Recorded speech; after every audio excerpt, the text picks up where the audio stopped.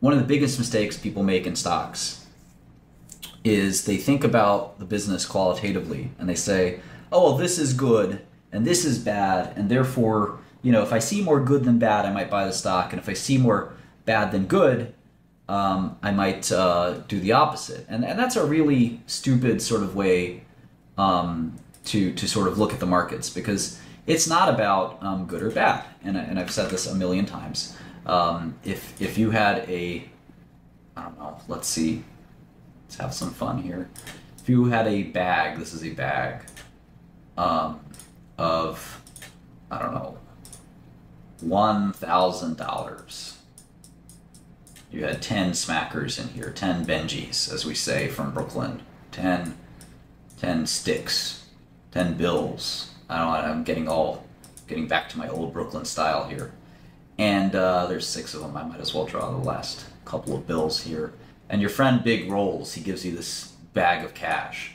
And, and you notice on the bag, it's got this nasty stain on it. You don't know what it is. And you say, ugh, Big Rolls, why'd you give me this, this nasty bag with $1,000? Now, it's still worth $1,000. You might have gotten it from Big Rolls and you might have a nasty stain on it and uh, uh, it doesn't look so great, um, but it's still worth $1,000. Now, if Tiffany's gave you one of their, you know, boxes, and it's a light blue box, isn't it? It's a light blue box, and it's got this nice pink trim, and it says Tiffany on it. And it's got um, just a hundred dollars in there. You know, sure, you know, you you know, it's easy to say, um, and the hundred dollar bill is crisp and clean, whereas big rolls is cash. You know, you see some weird residue on it. It's sometimes torn up. Um, you know, it's got some strange phone number on it. You don't know what's going on there. Um, you know, my point is, of course, that, that just because something looks good or, or things are getting better um, doesn't mean that the value is changing. Um, and the same thing applies here. It's a really pretty box and it's got a brand name on it, but you know the the box isn't worth six hundred dollars. It's worth hundred dollars. Um, maybe it's worth one hundred and five dollars because it's got the Tiffany box, and this thing's worth nine hundred ninety five dollars because um, your friend, uh, your dubious friend, gave it to you. But at the end of the day, and it's got this weird stain on it. At the end of the day, the, the, what you should be focused on is the value of the cash flow, not the, the sort of things that surround it. Um, so what's happening with Gilead is, is really big problems. So their hepatitis C business is basically disappearing. Um, it was half their business in 2016. It's going to go to zero. Um, I assume it's going to go to zero. I'm fine with that. The HIV business is is never going to grow again. It's so large that it, it really they've got all the HIV patients. GSK, Merck, and Bristol have um, a couple, but um, a little bit of market share. But they've dominated HIV. It's really hard to grow from here.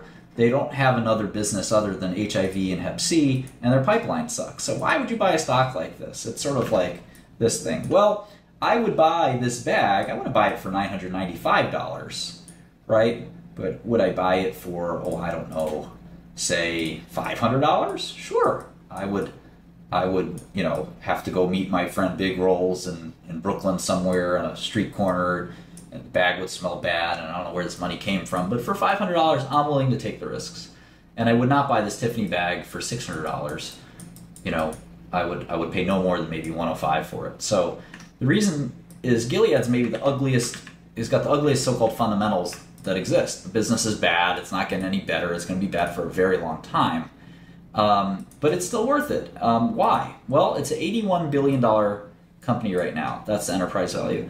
And the 2018 earnings is about um, $14 billion or $15 billion. And that's earnings excluding R&D. So I like to adjust excluding R&D. And if you need some more evidence on why I think that's a good idea, you can watch some of my videos. But this is five times earnings, so um, really an incredible deal. This is almost a 20% yield. And I think I showed you earlier from just basic finance, you can't get a 20% yield anywhere. Um, it, the, the LIBOR is 1%, treasury bonds are 1 or 2%, corporate bonds are 3 to 4%, even the S&P 500, which is just equities, the earnings yield is 6%. So here you got almost a 20%. I don't know, this is like 17%. 17% earnings yield.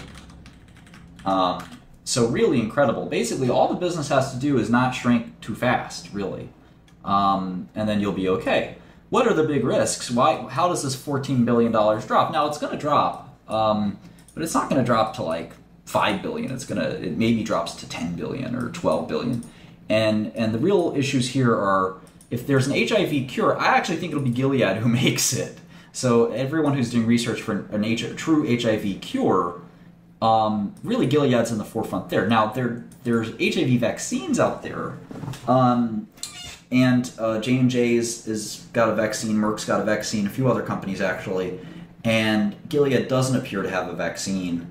If a vaccine gets approved, I don't think that it'll eat into their current business. It'll actually prevent new patients from becoming HIV patients, which obviously would be a great thing for society.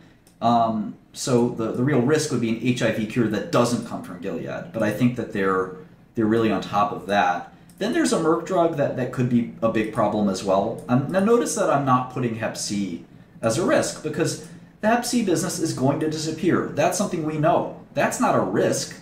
Again, if you look at investments like this, maybe it's a risk to you, but you have to look at investments as to kind of what is the market, what would sur- surprise the market. Hep C sales disappearing, it wouldn't surprise the market. In fact, that's an upside risk, I would say. It's a good thing. If Hep C doesn't disappear at all, I'm assuming it's going to disappear. If it doesn't disappear, or if it disappears more slowly, then Gilead stock is even better. So keep that in mind. And I'm also being conservative with HIV. I said earlier that they have no more patients to get, that they have all of the the patients out there. Well, that's not totally true. They, they could have better pricing, they could have better global uh, access to patients. So they, they have this PrEP, which is a big uh, kind of a big marketplace. Um, this prophylactic um, pre-exposure prophylaxis. So there are some ways for HIV to grow. They have this bictegravir drug coming. So there's still some reasons to like that. Anyway, I just thought I'd sort of explain why you know an ugly duckling like Gilead can actually be worth quite a bit. So I think that you know in certain models I have it worth about 120 billion, sometimes even worth as much as 150 billion. So um, you know we'll sort of see um, where Gilead ends up. But I, I thought you know because it's the largest position in the portfolio that I'd explain it a little bit. Okay, so in a month like this, you know, shorts are, are sort of the place to be. Um, and you never know what month is going to be good and what month is going to be bad, or what years even. Sometimes you have years, years and years and years where where there are no shorts, or, or shorts are, are, are, far and few between. And sometimes it's the opposite. Um, I have a friend who said, uh, one of my coworkers, he said, "Oh, everything on my screen is red today," and he's sort of new to the stock market. And I said, "You know, I, I've been in a situation where that's every day for three years."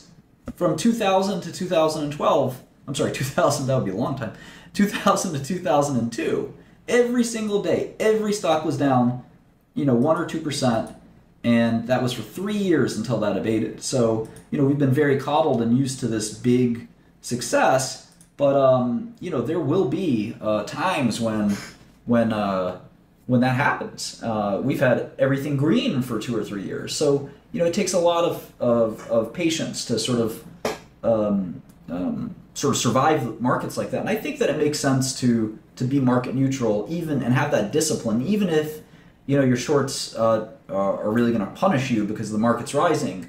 When the market's falling, your shorts are, are there to save you. And this is a good example of the top biotech stocks I follow. There's two that went up a lot this month, um, and uh, I can't make heads or tails of this one. Um, and quite frankly, the same with, with FibroGen. But if you look at all these stocks, I mean, it's like shooting fish in a barrel to pick out these shorts. Now, I wasn't short any of these, and I feel really stupid, quite frankly, for not seeing the following stocks as shorts. I didn't short Mylan, I didn't short Teva, I didn't short Endo. These are all really, I wouldn't say easy, but um, these were pretty simple. You can say Mallinckrodt and Valeant and Sun these were pretty simple shorts to get. Um, you know, basically every generic company is telling you that it's Armageddon. The, the Mylan CEO even started um, her conference call by saying uh, the times are changing. Um, you know, usually these conference calls are pretty boring events. So when you need to to pull out the Bob Dylan lyrics to explain the current state of affairs in the business, um, yeah, maybe I missed it because I was distracted. Um, very good point there.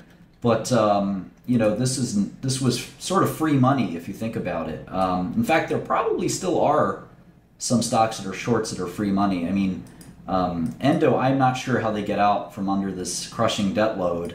Now, um, you know, have to take a look at that further. I'm looking at their bond situation. Teva, oh boy, I don't know what to say about Teva, but um, you know, it's it's sort of a terrible and nasty situation. So a lot of companies thought it was a good idea, including myself, quite frankly, to lever up and buy old specialty pharmaceutical or generic products. Valeant being the poster child of that, and um, now many of these companies are paying the price. Um, and uh, you know that's that's sort of how bull markets end, to be frank. But uh, regardless, you know, thankfully my businesses have survived, and it's probably more a function of not being not getting infinite capital uh, to borrow. Um, and there's some companies that have done okay with the strategy, like Horizon and some others. But uh, you know, there are um, a lot of companies, Mylan, Valeant, that have to pay the price for for leveraging up and buying businesses that they weren't sure were that great. So in any event, um, if you were short any of these stocks, we were short Neurotrope, we had a secret short, uh, which we haven't talked about, which I don't think we'll ever going to talk about, sadly, because it's already gone down so much. But we got two of those and none of the longs, so pretty good for this month so far.